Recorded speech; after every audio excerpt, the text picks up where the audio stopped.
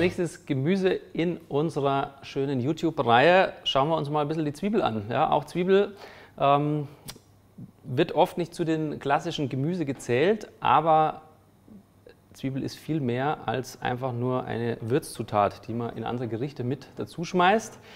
Ähm, zwei sehr simple, aber wie ich finde, mega leckere Rezepte. Wir machen einmal eine gefüllte Zwiebel, sage ich gleich ein bisschen mehr dazu. Und äh, einmal machen wir gepickelte Zwiebeln. Das ist so ein Basis-Standard-Rezept, das ihr eigentlich immer vorbereitet schon im Kühlschrank haben solltet, weil es macht so viel Gerichte, Sandwich und Co., auch mal eine Bowl etc. besser. Mal letztendlich starten wir mal mit den Ofenzwiebeln, das dauert nämlich ein bisschen länger also länger als das andere, relativ schnell erledigt. Wir haben schon ein bisschen was vorbereitet.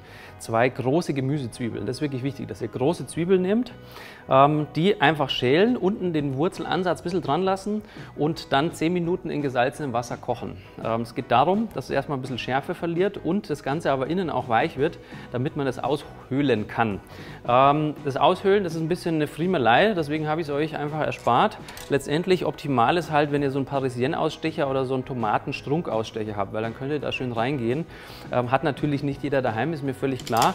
Äh, alternativ einfach wirklich einen scharfkantigen Löffel äh, mit einem kleinen Messer ein bisschen ansägen und dann aushöhlen ganz vorsichtig, ist überhaupt kein Problem. Falls euch das mal passiert, so wie mir hier, dass ihr unten ein bisschen durchstoßt, das heißt, dass da ein Loch entsteht, macht überhaupt nichts, legt einfach den Pfropfen wieder rein, dass es unten halt ein bisschen zu ist. Wir setzen es eh in die Reine, macht überhaupt nichts aus. Ja. Gut, also die zwei Zwiebeln, dann haben wir hier das ausgehöhlte. Pfanne habe ich schon mal vorgeheizt. Das hacke ich jetzt einfach noch mal ein bisschen kleiner und dann kommt es auch schon rein in die Pfanne. Ist jetzt auch schon angegart. Tendenziell wird es jetzt ein bisschen zu viel sein für, äh, für die Füllung. Macht aber nichts. Das kann man einfach oben drüber äh, bröseln. So, jetzt habe ich einen Räuchertofu, den bröseln wir auch direkt mit rein.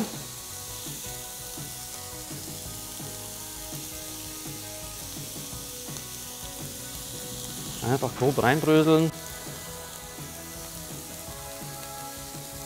Immer schön mit den Händen arbeiten und eine Sauerei machen, so wie ich immer, bin ich ganz groß drin, wie ihr ja wahrscheinlich in den anderen Videos auch schon gesehen habt.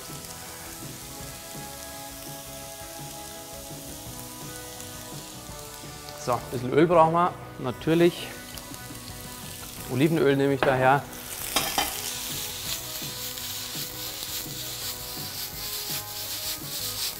Und hier auch wieder das Schwenken ganz gut, um die Temperatur ein bisschen nach unten zu bringen, wenn das Öl reinkommt. Und wie ihr auch gesehen habt, ich habe das Öl jetzt erst drüber gegossen. Ähm, das mache ich immer ganz gerne, weil Olivenöl ab 180 Grad äh, einfach den Rauchpunkt erreicht. Heißt, ähm, da entstehen die Stoffe, die wir nicht mitessen wollen. Ähm, bis 180 Grad geht es aber super. Und wenn ihr zuerst das Gargut in die Pfanne macht und dann erst das Öl drüber, dann berührt das Öl immer nicht direkt die Pfanne und raucht ab, sondern es hat einfach ein bisschen äh, mehr Zeit sozusagen. So, jetzt machen wir unsere Sauteuse da hinten auch mal heiß. Für das zweite Rezept, die gepickelten Zwiebeln, auch ganz simpel. Halb Apfelessig, halb Brühe. Und das erhitze ich jetzt einmal.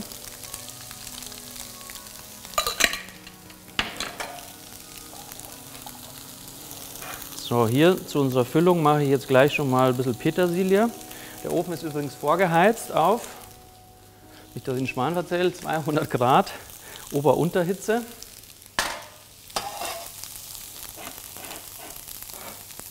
Da habe ich noch ein bisschen vegane Butter, kommt auch noch mit dazu.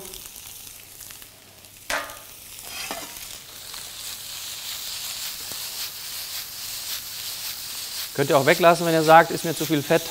Das müsst ihr immer so anpassen, wie es für euch passt. Die meisten Gerichte, die ich koche, sage ich immer, sind auf die große Masse ausgelegt. Das heißt, mein äh, geistiges Beispiel dabei ist immer, wenn ich mir 100 Leute von draußen schnappe, die mit vegan überhaupt nichts am Hut haben, äh, wenn die mein Essen essen, sollen sie einfach sagen, es ist mega lecker. Und nachdem die meisten Menschen da draußen einfach nicht gerade fettreduziert essen, ähm, verwende ich ganz gerne auch mal ein bisschen mehr für die Alltagsküche muss man es natürlich reduzieren. Und deswegen macht es einfach, wie gesagt, wie das für euch passt. Pfeffer.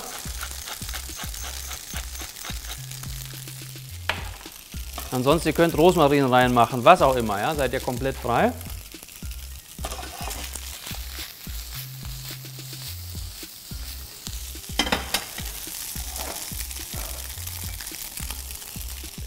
Schütt mal mit ein bisschen Brühe ab. Verteilen sich die Geschmäcker auch ein bisschen besser.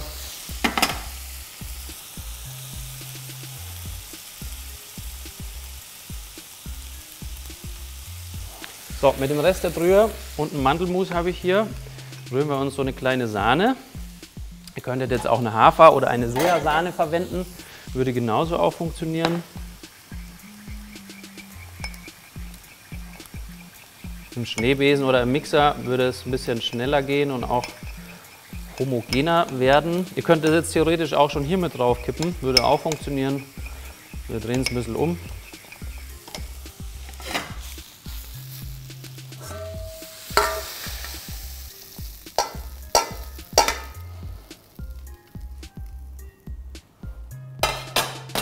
Zum Glück ist die Küche groß genug für meinen Saustall. So, optimal lasst es jetzt ein bisschen runterkühlen. Ihr seht, es ist jetzt auch ein bisschen gröber, ein bisschen feiner, so eine äh, schöne Mischung.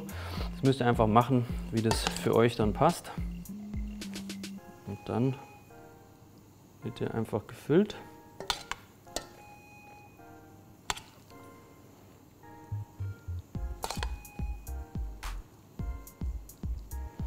Wenn ihr keine Lust jetzt auf äh, Tofu habt, ihr könnt auch Tempeh verwenden oder wenn ihr sagt, ihr wollt kein Soja essen oder nicht so oft, dann könnt ihr auch ein Tempeh aus, äh, ähm, aus Bohnen oder aus Kichererbsen verwenden. Das ist alles möglich. So, einmal. Habe schon ein bisschen Öl drinnen hier.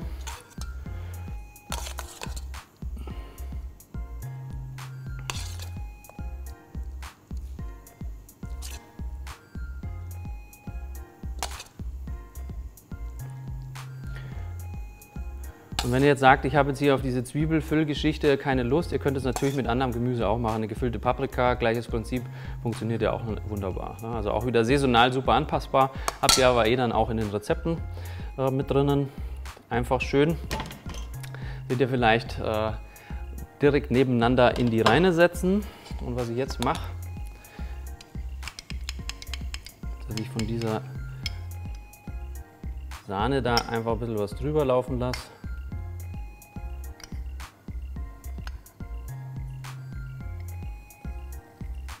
Zack. Und dann ab in den Ofen. Sieht jetzt schon mega aus.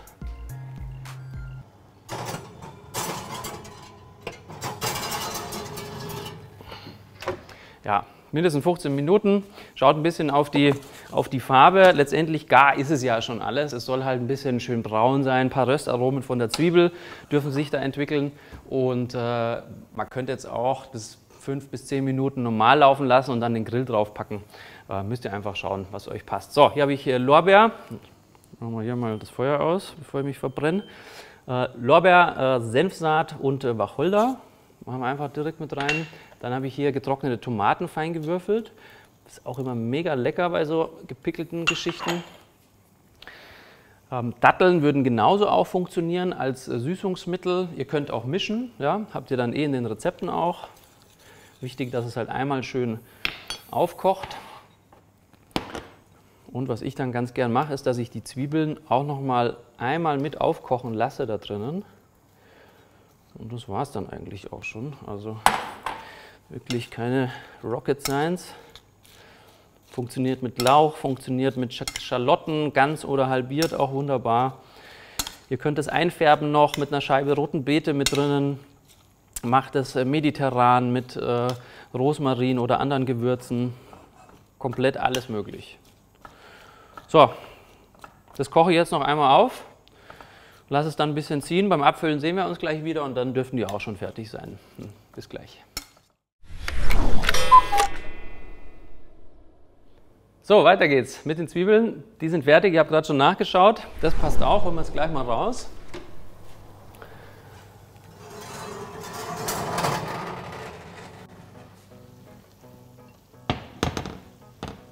Wunderschön.